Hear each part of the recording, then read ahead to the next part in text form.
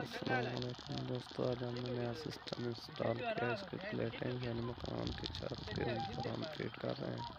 इसके अलावा ट्यूबवेल ज़रा दूर है, इसलिए हम इसका पानी नहीं दिखा रहे हैं।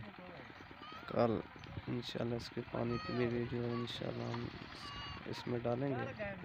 इसके अलावा जो है ना, आपने अपने राय कमेंट में ज़रूर बताना। इंशाल्लाह जो भी मसला होगा कोई इन्वर्टर के बारे में या मोटर के बारे में कोई भी इंफॉर्मेशन हो, आप हमें कमेंट में देख सकते हैं, हम आपकी राय का जवाब इंशाल्लाह ज़रूर देंगे।